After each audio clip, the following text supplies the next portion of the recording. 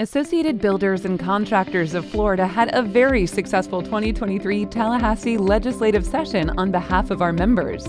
Every legislative session is different, and 2023 will go down as one of the longest in our recent history. Between multiple special sessions and major policy initiatives attracting attention nationwide, this legislative session took on a life of its own. We are thrilled with the policies we passed on behalf of our members and some of the policies we were able to block.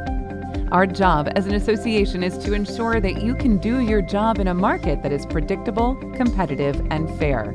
We know that the efforts we worked on for you this year ensure that for you, your company, and your employees.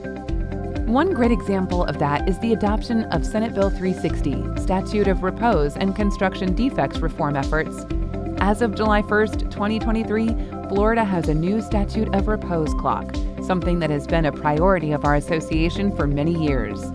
Moving forward, the statute of repose period in Florida is now seven years instead of 10, and with the clock beginning at the earliest of the following triggers abandonment of the project if work is not completed, the authority having jurisdiction issuing a temporary certificate of occupancy, certificate of occupancy, or certificate of completion.